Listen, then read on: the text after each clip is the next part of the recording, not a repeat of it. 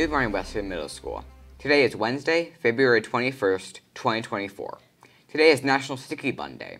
Do you prefer sticky buns or cinnamon rolls? I prefer cinnamon rolls. Here are your announcements.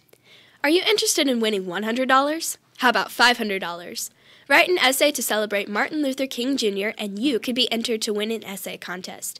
Check your Canvas Class of 2028 or Class of 2029 announcements for more information. Essays are due this Friday. All students who are interested in track and field this season but missed the call out meeting should talk to Mr. Davis during SRT in room West 010 or during passing periods by the gym. All welcome to attend. Pet Club and Board Game Club will not meet today after school. Board Game Club will meet next week on February 28th. Car Game Club meets next Monday in East 604 until 415. Seventh grade softball will have a call out meeting during SRT on Monday in the LGI. Plan to attend if you want to play seventh grade softball this season. Also, please scan the QR code to complete the questionnaire. Our girls earned two road victories Tuesday night versus the highly talented and raucous home crowd of the Creekside Wildcats.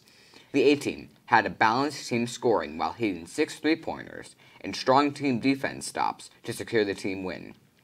The B game victory was led by Brent Hess and Mavlinov's connection, and multiple buckets from Saigon McCray, Brent Thompson, and Bennett Shane. Tickets for Matilda Jr. are on sale now. The show is Friday night, March 1st at 7 p.m. and on Saturday, March 2nd at 2:30 p.m. and at 7 p.m. Tickets are $5 for students and $7 for adults and are now on sale at wmsdrama.ludus.com. That's all of our announcements for today. It's, a great day to be a shamrock.